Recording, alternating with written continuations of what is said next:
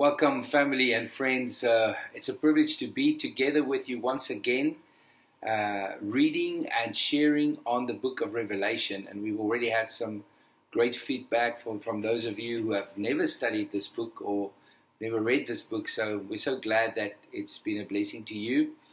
And uh, yesterday we started with chapter one, and today we're going to do chapter two. And uh, we're excited about what God uh, has in store for us and what He wants us to learn and to hear. And as we said before, uh, we're not any experts. We're just going to be sharing what we've been learning and what God's been showing us. And we invite you to also listen to what the Holy Spirit is saying to you uh, through what we're going to be uh, reading and talking about.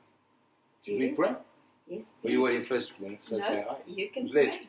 let's pray and thank the Lord. Father, we, we give this time to you. We dedicate this time to you as a time that you would speak to us through your Spirit. We submit to your leading. We thank you, Holy Spirit, that you guide us in all truth. And, uh, and we ask that it would be so as we read and study this wonderful book um, through which you want to speak to us. In Jesus' name. Amen. Amen. Amen. Well, we're going to be starting with chapter 2, Adele. Yes, and today we are going to do the the four churches. You know, there's seven. We will put the map on again so that you can see the different churches. So we will be doing Ephesus, Smyrna, um, per- Pergamum, and Thyatira. ne?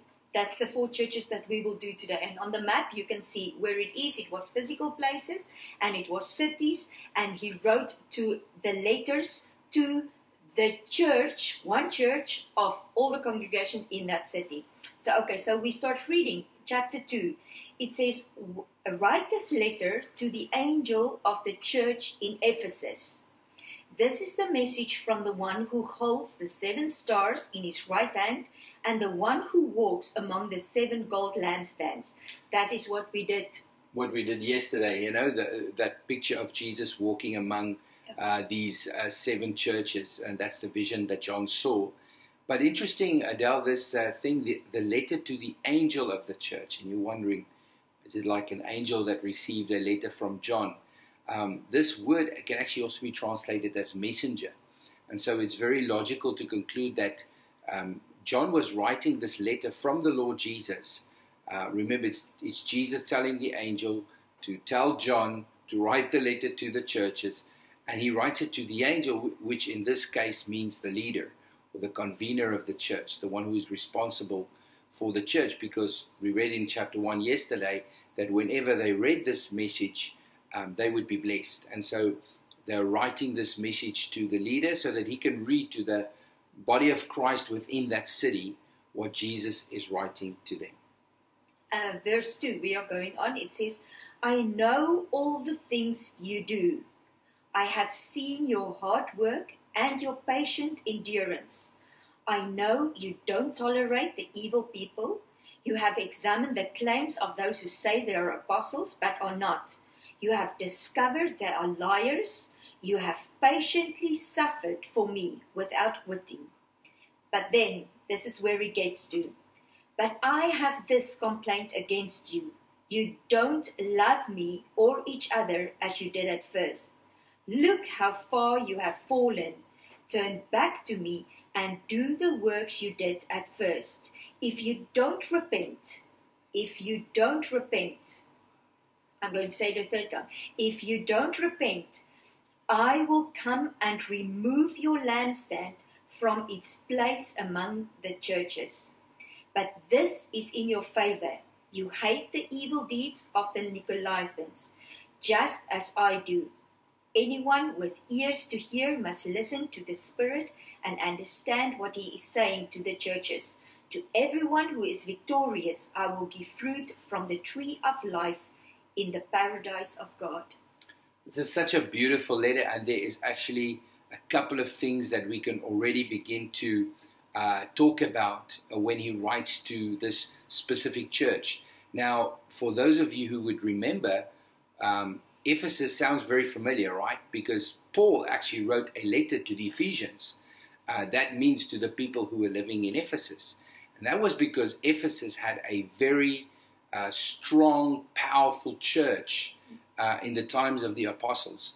we read in Acts chapter 19 that uh, Paul went there and he ministered so powerfully through the power of the Holy Spirit that people publicly burnt um, their books of witchcraft. And uh, I mean, can you imagine? And they said that the pile, uh, the value was like millions of dollars worth of books because you remember in that time, books and scrolls were very expensive items. And, uh, and, and so these witchcraft books were burned publicly. People publicly came and said, I don't want to serve this anymore. I don't want to read this anymore. I'm burning it because I'm dedicating my life uh, to Jesus. And it became so uh, so harmful to the city's um, you know previous spirituality um, because in that city there were a lot of idol worship. Uh, there was a specific temple that was uh, uh, built uh, in honor of Diana of the Ephesians. Um, she was called the Queen of Heaven, and and also Artemis is a, another name for for that goddess.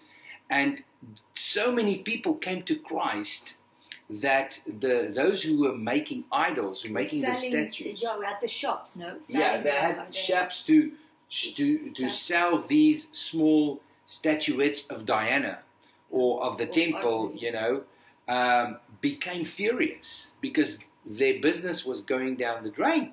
Yeah, People lost money. yeah. people no longer bought the statues because everyone was following Jesus. I mean, can you imagine how powerful that that was? Um, that that those who were who were doing evil were, were going out of business, and they became angry with Paul and his his uh, followers. Uh, they they wanted to you know they they, they incited a mob. Um, there was a public hearing. You can go read it in Acts 19. But in the end, nothing happened and uh, and Paul could go on with his ministry, and then from there on, he actually went to another city, chapter 20. But interestingly enough, after that incident, uh, John the apostle also went there. And interesting, uh, I read it out that that John actually stayed there and died there. They, Yeah, they yeah, said yeah. that was the last place he lived After you came from Patmos. after he came from Patmos. So, um, so John was one of was like Adele said yesterday, the last apostle that remained alive. He died of um, of natural causes, of old age, and when he came into Ephesus, um, he actually went into the temple of Diana, uh, something that Paul uh, didn't do. And he then rebuked and spoke against this spirit, this evil spirit that was reigning over the city and wanted to reign over the city. And it said that half of the temple actually collapsed. So it was a there was a powerful demonstration of God's spirit uh, through the through the life of, of Paul, but also through the life of John. And so this church was a powerful church, right? And um, and and now all of a sudden, the Lord says to me, to them, "You haven't loved me the way you first did." Right? They had lost their way spiritually. They were no longer in love with Jesus. They did things, you know, to be seen, maybe because it says you're actually doing good things. your your hard work, your hard work, your patient endurance. And I was I was reading this was in a time when John received this prophecy was when the other apostles were dead, and it- seems like it it wasn't the first church; it was already a second generation of believers um, in in that church, and it was as if, uh, or they are saying in the commentaries that it, the second generation, when he was saying to them, "You don't love me as at first, it's as if they were keep on doing what they were supposed to do or taught by Paul and by John, but they they didn't have the love for God in the same way that you know. So what a So- what a what a um, Wow. a warning to us, True. right? That we can actually go on with uh, serving the Lord outwardly, doing the the right things, right? Um, All the words, but not loving, uh, doing works, going into religion uh, without really serving the Lord and loving Him with all our hearts. Yeah, the, rela- the relationship. The If we do Christ. all the right things, but we don't have the relationship Yes. that we have a love relationship with God, that is where we can fail desperately. And and then the you know John uh, actually says to them, repent. You know, come back to your first love. Do the things that you did at first. Not necessarily the same. Um, you know, you can do the same works, but you have to do it with a different heart. With the right motivation out of your love for God and your love for other people. And uh, obviously, we all know 1 Corinthians 13. You know, um, I can I can I can have the faith that move mountains, but if I don't have love, I have I'm nothing. Um, and God says, "I am love." So it's so important that we realize that our faith is not based on works. We're not here to do religious duties. We're here to live in a love relationship with God and love each other fervently because God is love. And without love, our religion actually means nothing. And then he actually says to them here in verse 6, he talks about the Nicolaitans. Yeah. Um, and it's interesting, the Nicolaitans was a sect uh, during that time, uh, and they believed um, that some sins uh, were not sins because um, it, they were only prohibited during the law of Moses. And in this instance, it was talking about sexual immorality and other kinds of sins, in which the Nicolaitans actually said, no, no, no, but if, you know, this fact that we can't sleep around and, you know, do, do whatever we want sexually was actually only prohibited in the law. And Jesus has freed us from the law. So now we no longer have, it, have to obey the law. And so we can actually do these sexual things. Um, and so um, the Lord is commending them here through the, through the letter saying, you hate them, I also hate them.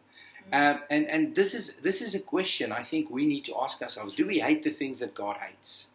Yeah. Um, do, or do we or do we justify our sin? Correct. Because we are no longer under the law, we are free of the law. There's no condemnation. So let's sleep around. But you know, God loves us, and He will always love yeah. us. You know, and it's this true. is this is what the Nicolaitans did. They compromised yeah. what they were doing. They were com- compromising on their faith to do or to uh, to be active in their sinful desires in the community of Christians. So it's uh, it's something to think about. No? Yeah, and and so the Lord uh, ends by saying, "Listen yeah. to what I'm saying to you. I want you to repent."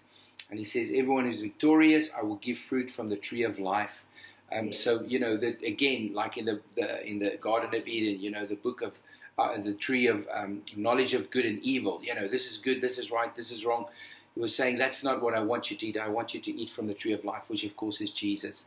Um, I want you to, to give life and be life givers like you once were. It's like this church has lost its ability to minister effectively because they were, were busy just with good works, but they've actually renounced the love of Christ they once had.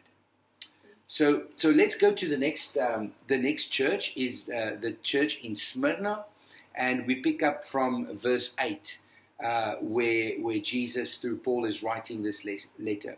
Write this letter to the angel of the church in Smyrna. This is the message from the one who is the first and the last, who was dead but is now alive. I know about your suffering and your poverty, but you are rich. I know the blasphemy of those opposing you. They say they are Jews, but they are not because their synagogue belongs to Satan. Don't be afraid of what you're about to suffer. The devil will throw some of you into prison to test you. Uh, you will suffer for 10 days, but if you remain faithful, even when facing death, I will give you the crown of life. Anyone who hears, ears to hear, uh, must listen to the Spirit and understand what He's saying to the churches. Whoever is victorious will not be harmed by the second death. I think the, the main point standing out here is the suffering, is where he commend them. I know about your suffering and your poverty, but you are rich. So even if you suffer, and then I couldn't help but think of, of 2 Corinthians uh, 1, and I'm going to read that to you. 2 Corinthians 1. It says, verse 3, it says, All praise to God, the Father of our Lord Jesus Christ. God is merc- uh, our merciful Father and the source of all comfort. He comforts us in all our troubles so that we can comfort others.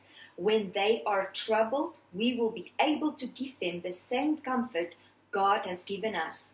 For the more we suffer for Christ, the more God will shower us with his comfort through Christ. And um, it, today, how hard is that to teach actually that in the church? I mean, I think there's too little teaching about suffering mm-hmm. and how we should suffer and when we suffer what um, promises is in suffering and how when you look at this that god can use us through our sufferings to be a comfort to those who are going through suffering. Isn't it interesting that he says you will suffer for 10 days? so Yeah. he's not saying, Taking don't worry, I'm taking you out of the suffering. Uh, like the furnace, Daniel and his friend. Yeah, they had to be thrown in. Uh, you know, John was thrown into the, the oil. So sometimes, you know, we would like to believe that no bad thing will happen to a Christian, but that's actually not biblical. We will go through sufferings, like he was saying here, but the Lord says, I want you to remain faithful um, um, uh, even when facing death. I will give you the crown of life, meaning the, the, the reward you will get. Through suffering is much bigger than the suffering itself. And so we need to have the same attitude. We're willing to live for Christ, and Paul once said, you know, he said it. For me to live is Christ and to die is gain. So even if I die for the cause of Christ, I haven't lost anything because my life does not belong to me anymore. I belong to Jesus. It's like in, we will read it later in Revelation 12, but I want to, to just quote it. In Revelation 12 11, it says, We will overcome the enemy by the blood of the Lamb, the word of our testimony, and the fact that we do not love our lives until death. And I think many of us struggle to get a hold of that truth and saying, I must die to myself, a living sacrifice. So even if I'm alive, I am choosing to die and not to feel and not to hate and not to be angry, you know? And yeah, and to actually have revenge on the people who, who are hurting me. Uh, I'd like to encourage you if you're going through suffering right now, unfairly, sure. uh, Jesus said his uh, servants are no greater than their master. And so if they, he suffered unfairly, we will sometimes go through the same uh, situation. Right? So let's go to uh, the church in Pergamum, verse 12 get to that. Okay, verse 12 it says, Write this letter to the angel of the church in Pergamum. This is the message from the one with the sharp, two edged sword. I know that you live in the city where Satan has his throne, yet you have rem- remained loyal to me. You refuse to deny me even when Antipas, my faithful witness, was martyred among you there in Satan's city. Now it's very important. We will put a map on for you that in that city there was four major cults with Yes. temples in Pergamum. you Yes, know? and this this whole thing of the seat of Satan or uh, the throne of Satan actually refers to a very big altar that was erected in honor of Zeus. There was this big Yeah. um, temple for Zeus, and so, but the wording uh, that that Jesus would acknowledge um, that this is where Satan lives. I mean, imagine it's not that people were thinking Satan lives there. Yeah. Jesus was saying. Yeah. Satan is living in your city. Can you imagine how evil and how bad that must have been for the believers, knowing or, getting this this um, this news? Listen, you are living in the in the in the city of Satan, but but still the Lord honors them for for remaining loyal and faithful to Him, even though they, they were in a, a very spiritually dark place. Um, they were still faithful in serving the Lord among all of these idols and idol worship and all these temples, even to the point where Satan literally was there. It was it's called the Satan city. Yeah. That's terrible. In verse 14, so it's interesting to know God see the, those who are faithful and then he speaks to those who are not. Mhm. You know, in 14 he says that I have a few complaints against you. You tolerate some among you whose teachings is like that of Balaam, who showed Balak how to trip up the people of Israel. He taught them to sin by eating food offered to idols and by committing sexual sin. And it's interesting, you know, this this uh, passage is in, in the book of Numbers, where it refers back to the book of Numbers, where where uh, Balak was a king who wanted to curse the people of Israel, and he actually paid for Balaam, who was a false prophet, like a witch doctor in today's um, uh, context, and Balak had paid him and said, "I'm going to pay you to curse these people," and every day uh, Balak went out and he couldn't curse, even though he was an evil person uh, and he and he was like a like a witch doctor. He didn't serve God. He couldn't curse the people of Israel, and he and finally said to Balak, I can't curse that which God has blessed. But then, interestingly enough, he actually told Balak, if you want to actually get to them, you need to get them to sin. So I can't curse them, but they can actually curse themselves. They can actually put themselves in harm way, Yeah. open them up for punishment and for evil if you can get them to do evil. And Balak's strategy was very easy. He actually sent the women uh, from these other Midianites and the, and the Moabites. He sent these women into the camp, and these men of Israel began to sleep with these women. But the worst of it, these women began to tell them, Why don't you come to worship uh, my, in my temple, my idol? And so um, it's actually a very slew strategy that the enemy used to get the people of God into sin. And so that's why we need to be so careful. Some things can, can look so enticing and can look so uh, innocent, right? What are- you know, I, I'm making friends with this person, but that's, this person might lead me to do evil. So it's not wrong to have the friend, but I need to be careful how I make friends, how I open myself up to these people so that they can begin to influence me to serve other things. And so it's rather the other way around. I need to make friends for the purpose of winning them for Christ and not for them actually um, enticing me to, de- to do sexual things. And so he was saying, You're tolerating this. You're tolerating a double standard. You know, you, you want to live for me, you're faithful, but only, and you know, you do secretly, um, you make agreements uh, with the evil one by doing things that's not pleasing to me. And in 15, it's interesting, like with Ephes- uh, Ephesians, he was saying, in a similar way, you have some Nicol- Nicolaitans among you who follow the same teachings. Again, the sexual sin of the Nicolaitans. So it's now in, Ephe- in Ephesus Ephesus. and in, in, um, in Pergamum, it's the same thing. They're repeating the same um, sin, you know. And then in verse 16, it says, Repent of your sin, or I will come to you suddenly and fight against them with the sword of my mouth. And it was interesting when he came to to this church. In fact, he said, "I'm coming with you, the Mhm. one with the sword in my mouth." He's saying to you, "If you do not repent, I will cut you." Yeah, Yeah. because he, he- you know, it's it's beautiful how the Lord says it, right? He says, "I'm fighting against the evil in your city, but you have to repent because if you don't repent, I will actually end up fighting against you.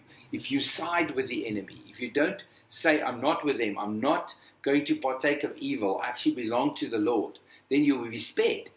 But if you side with the with the evil one um, and with the evil doing that's going on in the city, you will actually have God fighting against you. Wouldn't that be terrible? The Lord Yeah, saying, I'm coming to fight against yeah, you, yeah, not just evil, but because you refuse to repent, I'm actually fighting with, to, against you with the sword of my mouth.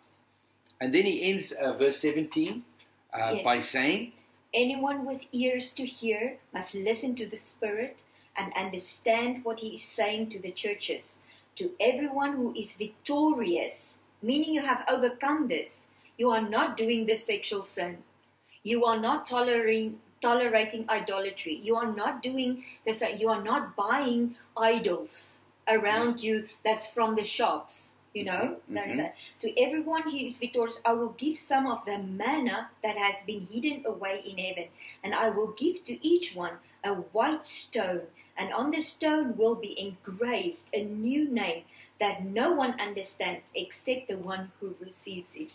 uh, this is such a beautiful passage, and I remember um, in the in the in the prophets as well, the Lord was talking about this secrets that He wants to share with us as believers, as His beloved. Right? Um, he, God wants to show us hidden things. Um, God wants to have a kind of relationship with us where He can share His heart with us. And this is a picture of that. The Lord says, if you would just separate yourself, you know, holiness means to be separate, to be different. Uh, if you're just willing to listen to what I'm saying to you, move away from the compromise, move away from justifying your sin, move away from, from, from tolerating things that shouldn't be tolerated. I will give you, I will have a secret relationship with you, in which I'll give you hidden manna, meaning the Lord will share things with you He doesn't share with other people. Yes, revelations. Right, Yeah. revelations like eh, Yeah. you know in the in the in the desert manna every morning. So the Lord will share new things with us, and then He says, "I will give him a white stone with with with a new name." Ah, I mean, then we enter we, we enter into the into the same category as people like Abram. Whose name was changed, or Jacob, whose name was changed, or Sarah's name was was changed.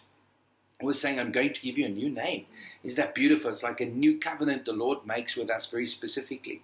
Um, and it's beautiful how the Lord says to this church, You can be my special possession if you're willing to walk away from this, this compromise uh, that you're doing. And then um, uh, the last, uh, the third city that he writes to is the city, oh no, this is the fourth one already, right? Yeah. The, the fourth city is the, the church in Thyatira or Thyatira, or however you want to pronounce it. And so uh, the, uh, John writes, Write this letter to the angel of the church in Thyatira. This is the message from the Son of God, whose eyes are like flames of fire, whose feet are like polished bronze. Uh, sorry, I'm, I want to say something. It's amazing uh, when I looked at this and I saw the different kind of how God is representing Himself in that letter. In the first one, He said to to uh, Ephesus, He says, "Is the message from the one who holds the seven stars in His hand, the one who walks among." The golden lamp. The second one, he says, it's the message from the one who is the first and the last. To Pergamum, he said, um, it is the one with the two edged sword in his mouth. And now he's saying to this church, I am the one with the fire in my eyes and the one with the feet of war. You know? So uh, it's interesting how God is presenting In himself in Yeah. a different way to Yeah. each one of these Yeah, churches. um, them having a different um, revelation or, or, or encounter with him in a, in a different way. And, and then he says to them, I know all the things you do. I have seen your love, your faith, your service, and your patient endurance. And I can see your constant improvement in all these things. Mhm. But I have this complaint against you. It's interesting how every time he commends them, but he also says, there's still things you need to work on. You are permitting that woman, that Jezebel, who calls herself a prophet, who to lead my servants astray. She teaches them to commit sexual sin and to eat food offered to idols. I gave her time to repent, but she does not want to turn away from her immorality. Therefore, I will throw her on a bed of suffering, and those who commit adultery with her will suffer greatly unless they repent and turn away from her evil deeds. I will strike her children dead. Then all the churches will know that I am the one who searches out the thoughts and intentions of every person, and I will give to each of you whatever you deserve. Yes, um, very important here that, the different attack in this Mm. in this church. Yes. In the other in the other churches in the other cities, the sexual attacks from the Nicolaitans and then this from Biliam and Balak sending the women from other tribes and peoples was from outsiders. It was almost Christian men who fell for unbelievers and, and Mhm, mhm. women who enticed them.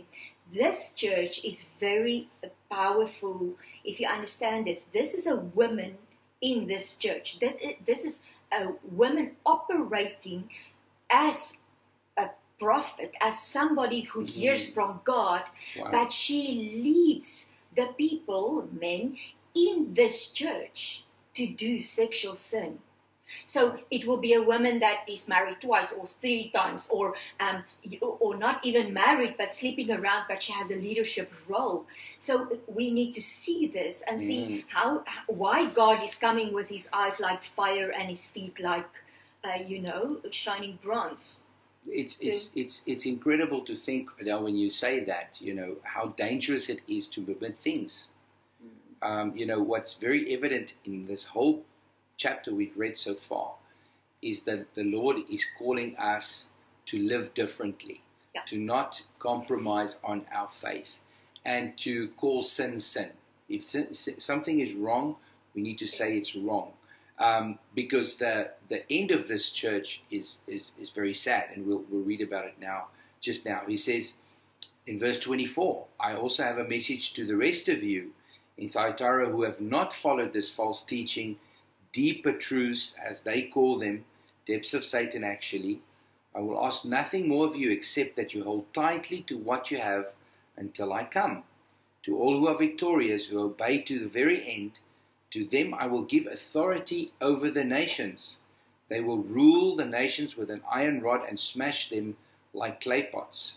They will have the same authority I received from my Father, and I will also give them the morning star. Anyone with ears to hear must listen to the Spirit and understand what He is saying to the churches. Yesterday we read that scripture in Psalm 2 verse Yes, 8 and. I am going to read it again because this this is very powerful because it's the same scripture. It says, Ask of me the nations, and I will give it to you as your inheritance, the whole earth as your possession. Now you must remember, this is what he is saying here to that church. He says to the church, if you overcome this, if you overcome the sexual immorality, standing against manipulation, standing against sin, sexual sin in the church from people in the church, Mhm. I will give you the same authority that I gave Jesus Wow.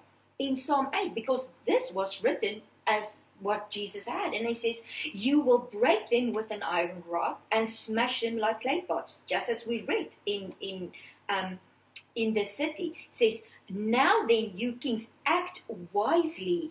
Be warned, you rulers of the earth. Remember, we are kings and priests. We are a royal nation, a royal priesthood called by God. Yes. But the moment when we are captured and trapped in the wrong relationships and doing the wrong things, we will fall. And and it is actually interesting that when you um, go back to those nations today, I mean, we, we told you yesterday, um, this these seven churches were in the region which is today modern day Turkey, Western. and you go to to Western Turkey today, and even the whole of Turkey, Yeah. and you no longer see these churches operating. Um, they lost their faith. It's not like, for example, in Ethiopia or in Egypt or in other places where the church has been going on since the time of Jesus. Um, you know, they might not be as strong, but they're still going strong. Today, you don't have that anymore in Turkey. And that is because I, we, we, we suspect that they didn't repent. They didn't want to serve God the way He wanted um, Him uh, wanted to serve. Oh, or wanted, he, yeah. he wanted to serve them. Um, um, serve Him. And so they um, they didn't have that authority anymore. And so it's so important to understand that whenever we compromise, we lose our spiritual authority. And the more we live the way that God wants us to live, the more we gain spiritual authority. I mean, He says, I'm giving you the same authority. Uh, they will have the same authority received from my Father. I mean, imagine they will they will act like Jesus in the earth. They would have an opportunity not just to effect change there, but in the whole region. Now, it's interesting, as I told you in the beginning. Uh, you know, some of these cities, like Ephesus, had that authority. They changed the whole region. They changed idol worship, right? So, so that is God's idea for every city, for every church in the city, like here in Buenos Aires, wherever you are in your city. God wants the church of that city to be so victorious that they would effect change not only over their city, but over their region, over their nation, and over the nations. There's no limit to how God can use us if we're willing to pay the price uh, for Him to use us. True. Um, um, in this whole process of reading about this and the authority over nations, I came on this in Jeremiah. Remember, Jeremiah was a young person, and I believe this is a word for the young people. And I, I want you to hear what God is saying to the churches, and the same way that these churches lost their authority in their God removed their lampstands. This is the same word that God is sharing with us. I mean, that was powerful cities. And I want to challenge the young people to hear what God is saying. For example, Jeremiah 1, he says from verse 4, he says, The Lord gave me this message. I knew you before I formed you in your mother's womb. Before you were born, I set you apart and appointed you as my prophet to the nation. O sovereign Lord, I said, I cannot speak, I'm too young. The Lord replied, Don't say I'm too young, for you must go wherever I send you and say whatever I tell you. And don't be afraid of the people, for I will be with you and will protect you. I, the Lord, have spoken. Then the Lord reached out and touched my mouth and said, and said, Look, I have put my words in your mouth. Today I appoint you to stand up against nations and kingdoms. Some you must uproot and tear down, destroy and overthrow. Others you must build up and plant. And it's easy for us to look at this and say, yes, with the authority that Christ has given us, and I can do all things through Christ who strengthens me. But if we struggle with these sins Mhm. in our lives, we Yes. are disqualifying ourselves. Yes. We are we are nullifying the word of God, which is ours, and He's giving it to us, and He's saying, "I am making you. I will just same authority that I gave Jesus Christ over the nations. I am giving it to you if you overcome." We'd like to give you this challenge today as we read through this chapter that you would examine your own life, that you would let the Holy Spirit speak to you about what are the things that you need to get rid of, areas of compromise. Maybe it could be idols, other gods, other things, statues, things in your life um, that you've permitted, that you've justified as as being right. Uh, maybe there are some relationships that have led you Yes. astray, and you need to correct those relationships and put some boundaries there and be a blessing to those people instead of them enticing you to do the things that is not pleasing to God. It's so important that we examine our lives as He's asking them to do. Listen to what the Holy Spirit is saying to the churches. And so I'd like to invite you the same today as we read through these churches. Unfortunately, they're no long, longer around, they, they, they're no longer effective um, in the region where they were. And, and it's because they've lost their authority. And, and the Lord is asking of us not, He's warning us. We can learn want- from them. yeah, yeah, we can learn from their mistakes. We can grow in authority instead of losing our authority by making sure we do what the Lord is expecting us to do. Let's pray together. Yes. Father, we thank you so much that you are in the business of using us and and correcting us. Thank you that you come today with your word to speak against us like that sword uh, in your mouth saying, I want you to repent. I want you to, to fix the things that you need to fix. I want you to no longer live the way you've lived and compromise and justifying sin. Help us, Lord, to get rid and repent of whatever it is that does not please you. Help us, Lord, to take up the authority that you've given us, um, even over the nations. And help us to be a blessing uh, and help us to be effective. Help us to learn from these churches who long ago made such a huge impact, but today are no longer there. And we don't want to go the same. We want to have a life that leaves a legacy that's eternal and that will improve and grow from generation to generation. Thank you, Lord, that you guide us. Thank you for this time together in your word. Thank you that you keep on speaking us through your spirit. In Jesus' name. Yes, Amen. Father, and and we pray that we will be the church that you want us to be. That this our church and who we are, because we are your church personally, and we are together as a family, your church. And we pray that we will be long after we have gone to be with you, that the church will be strong and healthy and vibrant and doing what God has called it to do. In the name of Jesus, make us strong to make the right choices so that you will not come and remove our lampstands from the city in the name of Jesus. Amen. Thank you for joining us today again, and tomorrow we'll see you again, same time, same place, as we go through uh, Revelations chapter 3. God bless you.